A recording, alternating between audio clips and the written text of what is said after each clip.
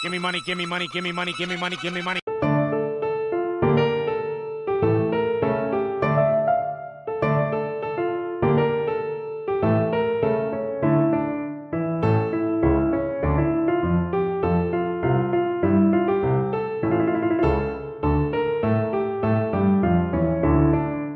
I'm getting a lot of content out of Rise of Skywalker. Actually, that's not true. I'm getting a lot of content out of crazy straight women who completely blew a fucking gasket over the basic realities of their shitty garbage men. Let's get meta, everyone. So, we've been talking a lot about toxic material lately. Be that a cartoon that reinforces harmful ideas about family and forgiveness, or a YouTube creator who preaches never questioning another person's beliefs, or a fandom ship that reinforces and romanticizes toxic and abusive relationships. And whenever I talk about these things, there is always, always, always some kind of package dismissal from the people who don't want others to have these discussions. Namely, that worrying about this kind of thing is pointless because it's all fiction and fiction doesn't affect the real world. Of course, those of you who know what art is probably laughed when I said that. This runs in parallel to the kind of people who loudly and endlessly praise a cartoon for being deep and so much more meaningful than regular kitty trash, and then turn around and say, lol, it's just a kid's show, when that cartoon's very deep and troublesome issues are brought to light. It's been a common thread among a great deal of fandom culture, but shippers in particular, to decry criticism of things like toxic pairings by claiming that fiction doesn't affect reality, that it's all harmless, and just because you like something in fiction doesn't reflect your views in reality, a sentiment that is as passionately stated as it is fucking nonsense. You've probably heard this most recently from the hobgoblins of the Reylo cult trying in vain to deny and talk over anyone who points out the very real reality that their favorite ship is between the main character and an abusive, creepy, genocidal greaseball that they've attached themselves to for no other reason than a slavish devotion to the enemies to lovers trope and a weird, creepy hard-on for Adam Driver. Incidentally, I find it hilarious that these greasy sci-fi weebs are insisting that fiction doesn't affect reality, while they're getting absolutely furious that Daisy Ridley sat beside John Boyega at the BAFTAs instead of Adam Driver. No, really, they did that. But chances are, if you hang around any other fandom, you'll probably find other pairings that tacitly ignore the very concept of basic human sensibilities and then proceed to get defensive about fiction versus reality when they're called out. And just because I hate every single one of you and I want you all to suffer, I'm gonna read out a list of examples provided to me by my viewers who have seen some shit.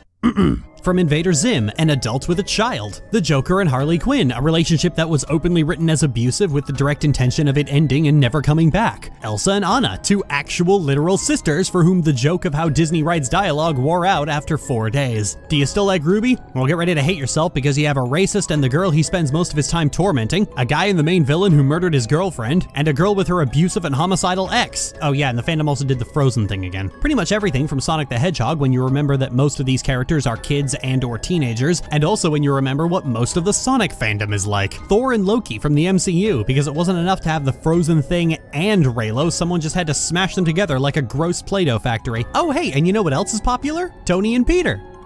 I'll give you a minute to finish having your existential crisis.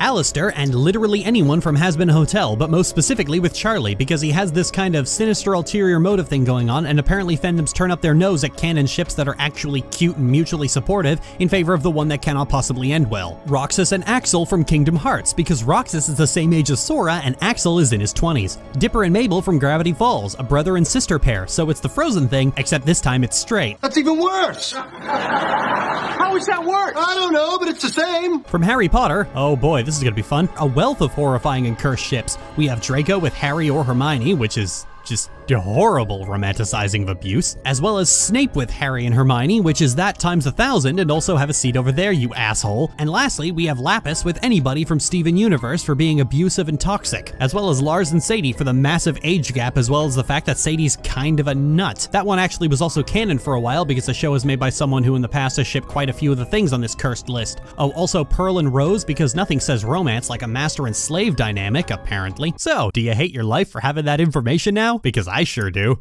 I didn't even get into Friendship is Magic because I want to make you lose your faith in humanity, not actively damage your mental health. Seriously though, there are a lot of pedophiles, like so many pedophiles. Alright, jump into the cold pool. The problem with the sentiment that these kind of horrifying ships are harmless is that it fundamentally ignores and denies how art works. Art has always inspired the real world. Art has always affected reality. Art has always influenced people. If art doesn't influence the world, why are all our phones basically tricorders now? Why are home assistants and smart home technology basically bringing the ship's computer into real life? Why are there people seriously working out the science behind a lightsaber? Actually, no, if art doesn't influence the real world, why did someone make an actual working lightsaber? If art doesn't influence the real world, why does every hack fuck with no literacy skills invoke 1984 and Animal Farm anytime someone even slightly suggests taxing the rich slightly more than they're currently being taxed? Why is the suppression of art a cornerstone of dystopian science fiction? Why do anarchists wear that stupid fucking mask? Why do religions exist at all? Or, and here we're getting into the big one, if art doesn't influence the real world, why are Star Wars fans such vitriolic, hateful fucking hobgoblins to real world people simply because they didn't like what happened in their fiction stories for children? Art has always influenced the real world because artists go out of their way to influence people. Nothing is ever just fiction, everything inspires something, even if it wasn't intended. Do you really think Gene Roddenberry expected engineers to spend decades recreating the technology he put into Star Trek? The notion that fiction and reality are completely 100% separate from one another is so laughably boneheaded that it would almost be funny if it weren't for the fact that this isn't idiocy that causes this argument, it's delusion. At the end of the last video, I made the remark that much of this discourse is about protecting oneself, and that's ultimately where the brain rot truly lies. There is an epidemic of people who are progressive only until things get personal, who are invested so hard in the idea of themselves as a good person that they will become extremely distressed and panicked the moment that view of themselves is threatened. And when that self-image is threatened, it means that the person asks uncomfortable questions about themselves and has to reevaluate their own positions and their own wokeness, so to speak. This is why we've seen so much of BreadTube steadily turn into progressives, alt-right apologists, and dirtbags because they're brushing up against the reality that they are not the final word and that they have things to learn and biases to examine. But because much of their identity is built around being the voice of the left on YouTube, when confronted with that reality, the majority of them shut down completely. Natalie Wynn made a career on transphobic jokes and set pieces presented as endearing self-deprecation, but the reality is that she isn't as progressive as she likes to think she is, and so when confronted with many of her outdated and fundamentalist beliefs and the way she surrounds herself with conservatives and centrists, what did she do? Double down and cry about cancel culture and how the only truly rational way to approach bigots is to never challenge them at all and hope they'll just magically change their views on their own, despite the fact that that's never how that works. A woman who has built much of her identity around converting the alt-right panics the moment she's faced with the reality that she is the one being converted, not the other way around. Here's another example, the Castle Doctrine. In this game, you play as a man trying to protect his family with security systems. If a robber gets to your house, your wife tries to escape with half your money, which means the robber has to kill her in order to get it. Meanwhile, you're out trying to do the same thing to other players. The game caught a lot of criticism because this is pretty archetypal sexism to reduce the only female presence in the game to a resource you have to murder to double your money. The excuse given by the developer was that the game was intended as a critique of toxic male culture, which is countered by the fact that this wasn't a critique, this was just being the thing. The developer then continued to explain, constantly, and remarking on the criticisms as confusion, as if the people criticizing the game didn't get it. Now, I'm gonna give you 5 seconds to figure out how to fix this problem.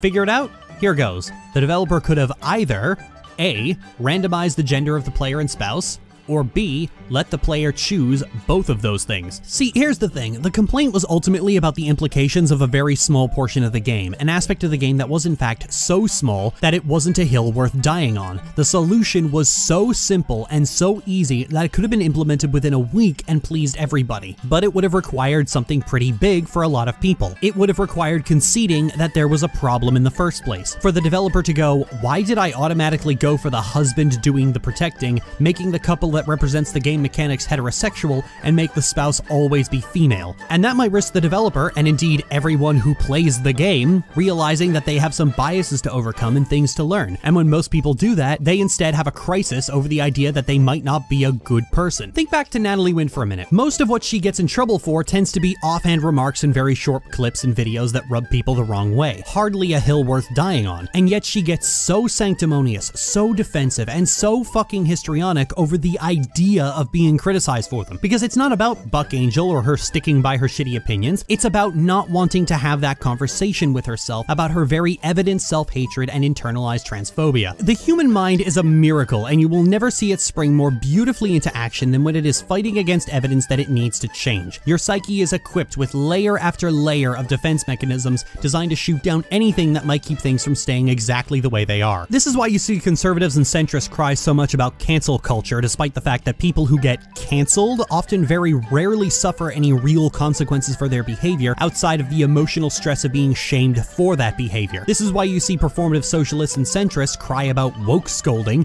because in the face of no real defense for your actions, the only recourse your brain has is to reach for an excuse not to listen to someone. Deflections, complaints about PC culture, tone policing, getting huffy that someone is abrasive, trying to prove that someone is a hypocrite, focusing on the messenger to avoid hearing the message, and actively contradicting things you already know to be true are all psychological traps your brain will bombard you with to keep you from acknowledging that there is a problem that needs to change. Let me go to something that isn't necessarily ideological. My ex-fiance tried really hard to get me to drink alcohol. She tried to get me into drinking games, tried to get me to try different kinds of wine and cocktails, and she did not respond well when I told her that I don't drink. Now, I don't avoid alcohol for any principles about drugs. In fact, I had a caffeine addiction for a very long time, but alcoholic beverages taste like piss to me. But my lack of drinking really bothered her to the point that she would openly complain about it. This really confused me until a few years later when I was in therapy as a result of that relationship, and my therapist explained to me that the reason she was so upset by that was because my refusal to drink while she was drinking made her feel like she was being judged, and that it wasn't anything to do with me, she was just battling with guilt over her own drinking habits and lashing out at anything that might cause her to question how much she drank and even consider if she might have a drinking problem. Chances are you'll see this with people who love, love, love marijuana. I've caught a lot of flack for treating marijuana like tobacco or alcohol. The, the medical benefits of marijuana are exaggerated by many people, and its habit-forming properties are often ignored. Whenever I point this out, I get screeds from people who want to convince me that marijuana is this miracle drug that can fix anything. But I've never actually been against marijuana. I firmly believe that it should be legal because law enforcement wastes its time and resources chasing down slightly smellier cigarettes, and in the US, marijuana is literally just a scapegoat as an excuse to throw black people in prison by the boatloads. So I'm basically as pro marijuana as a person can possibly get, yet people still get upset about this. Why? Because they're trying to keep themselves from asking the question, do I have a smoking problem? And I've met people who are clearly addicted to marijuana and are destroying themselves with it, yet they will go through any mental gymnastic possible to avoid admitting that there's a problem. You quickly learn that these kind of defensive screeds are not about trying to convince you. They're talking to themselves because they want to believe. And now we circle back to shipping, which is probably the worst for this particular defensive habit because it causes people to find ways to excuse things that should be objectively bad. Abuse, pedophilia, incest, unhealthy power dynamics, all things that are normalized in fandoms. Let's rip the bandage off right now. The reason people get so defensive and try to make so many excuses is because they don't want to admit that there is a problem within their own brain. Think about Reylo. Reylo is presented by its fans as a way to suggest that Rey has a responsibility to bring Kylo Ren back to the light and coax him through his issues. But this isn't just a quirky ship dynamic, this is how many people actually believe relationships work. Straight women are pressured to view themselves their partner's therapist. It's not uncommon to see straight women remark on how much they have to be a caretaker to their partner and see nothing wrong with that. It's the sitcom stereotype of a wife who does all the housework, raises the kids, and deals with the finances, while the husband lounges around watching TV and taking no active role in the adult responsibilities. And when pressured, many Reylos will often reveal that they view relationships as a caregiver dynamic. This isn't just fiction, this is how they actually view relationships. The romanticization of this kind of dynamic is a form of misogyny, and that's something that the mostly straight women who make up Reylo's fanbase don't want to acknowledge. Nobody truly wants to accept the fact that they have internalized bigotry to work through. Oftentimes, people can't accept that they have external bigotry to work through, but so often that denial causes issues like this, where a group of women can prove to be openly racist, misogynistic, and homophobic and still believe that they're the ones being bullied. But the harsh truth of the situation is that if you can look at all of this, Droid, we have what we need. You know I can take whatever I want. It's time to let old things die. You have no place in this story. You come from nothing. You're nothing. I'll destroy her. And you. and not see this instantly to be abusive behavior, well, I'm sorry, but you need therapy. This doesn't just apply to abusive ships that straight women fawn over. It applies to every gross ship dynamic, adults and children, incest, abuse of power. These are all things that will say something about you if you passionately and consistently ship this kind of garbage. Going to bat for Beauty and the Beast and yammering on about how he changed his ways, despite those changes being token at best, is ultimately just a means of protecting yourself from asking that uncomfortable question about why you keep defending this kind of abusive garbage. You are Belle, your nose in a book as you ignore the real world around you and form your opinions based on the trashy romance novels you read all day. And you don't abandon those ideas when you take your nose out of that book, because you'll passionately defend people from the consequences of their own bad behavior on the basis of those trashy romance novel morals. The conversation killing question you will always hear from people when this discussion starts is, So am I a bad person for liking X ship despite its flaws? When someone asks that, they have ultimately revealed the real motivation for ignoring those elements in the first place. They've admitted to you that what they really care about is their own perception of themselves as a good person. Pointing out that these things are toxic has ultimately wounded their ego. And let's think about that seriously for a moment. For the people who might be inclined to ask that question, let's imagine that you watching this video right now are a hypothetical Reylo who is fully aware of the abuse and toxic behavior involved in this pairing, but you still ship it anyway. Here's my question. Why is none of that a deal breaker for you? We'll stay focused on Reylo for now because it's recent and still relevant, but you could expand this thought experiment to any toxic ship you might be interested in. How did you manage to get through all that garbage and still come out going, I ship it? Because that is the elephant in the room, that none of these things mattered enough to you to act as a deterrent. Simply acknowledging that something is toxic isn't where the conversation ends because we ultimately shift to the fact that you don't care enough to act on that acknowledgement. And if you're so wrapped up in this idea of yourself as a good person, that's a conversation that needs to be had. I can excuse racism, but I draw the line at animal cruelty. You can excuse racism. Because you didn't care about this stuff enough for it to get in the way of having your creepy fun. I know I'm fetishizing abuse, but I don't care. And expecting people to go away on that admission alone. Your admission of the ship as toxic wasn't enough to get you to stop romanticizing abuse, and that's the part that actually matters. It's similar to how when the Toon Critic scandal came out, and many of the perpetrator's closest friends had their support for abuse victims and denouncement of pedophilia come to a screeching halt once it meant actually inconveniencing themselves in some way. And these were all people who like to imagine themselves to be good people. But when the time came to actually act like one, they couldn't be bothered. Instead, they harassed people and threatened litigation. The lesson here is that these things do in fact say something about you, even if that thing is ultimately, I am a self-centered asshole who will not let hurting other people get in the way of my fun. Your interests, your likes and dislikes, how you act on those likes and dislikes, these are all things that say things about you. And if you truly are invested in being a good person, that means sometimes altering what you consume on that basis. And if you don't care about any of that,